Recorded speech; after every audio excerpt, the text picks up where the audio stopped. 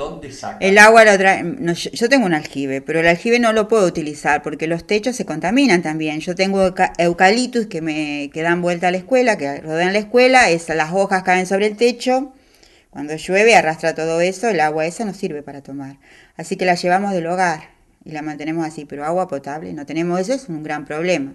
Bueno, tenemos el tema también eh, que ahora fue noticia en Mataldia, la cuestión de los agroquímicos y la contaminación de las napas. Estamos, eso nos pasa permanentemente. Yo he llegado a parar este mosquitos fumigando con los chicos en el patio jugando en el recreo.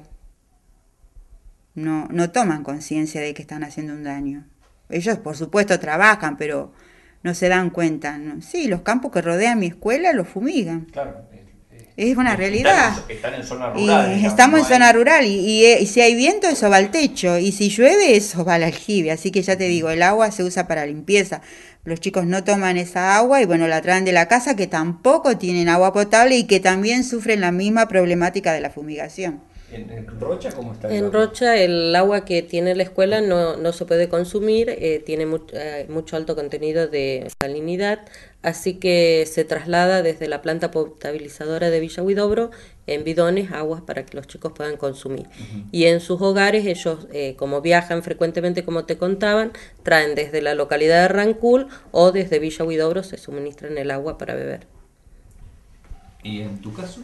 Eh, no, en mi caso hay una perforación, pero no la usamos para beber. Ajá. Eh, se lleva desde acá de la planta. Por lo general lo hago yo porque ellos también, ¿no es cierto? Viajan, sí viajan, viajan, pero no sumamente tan, tan seguido. Ahora ellos en la casa no, toman agua del jibe o de perforación. Y en lo que decían a las chicas con respecto a la fumigación, a mí hasta ahora de estar eh, haciendo el trabajo mientras que los chicos están jugando o están en clase, no. Al contrario, han parado el mosquito y me han ido a preguntar, señora, ¿a qué hora se retira para poder fumigar? Ajá.